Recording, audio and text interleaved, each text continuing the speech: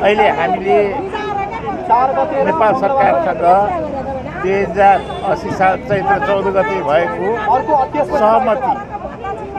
चाहिँ कार्यान्वयन नगरेको अवस्थामा दीपक भण्डारीले अपाङ्गता भएका व्यक्तिहरूको लागि बनेको अधिकार सम्बन्धी ऐन दुई हजार चौहत्तर र अपाङ्गता भएका व्यक्तिहरूको लागि बनेको अधिकार ऐन दुई हजार सतहत्तर चौहत्तरलाई कार्यान्वयन गर्न बनेको नियमावलीलाई कार्यान्वयन गर्न भनेर चाहिँ उहाँले त्यसभन्दा अगाडि चैत्र छ गतिदेखि चौध गतिसम्म धर्ना बस्नुभएको थियो। त्यसपछि बनेको महिला बालबालिका तथा ज्येष्ठ नागरिक मन्त्रालयमा सहमति भएर वैशाख एक गतेदेखि लागु लागू गर्ने गरी व्यक्तिगत सहयोगी सेवाको बारेमा चाहिँ सहमति भयो र त्यो वैशाख एक गतेदेखि लागू नभएपछि उहाँले पटक पटक हामीले मन्त्रालयमा गएर चाहिँ कुरा गर्दाखेरि अहिलेसम्म त्यो हुन सकेन।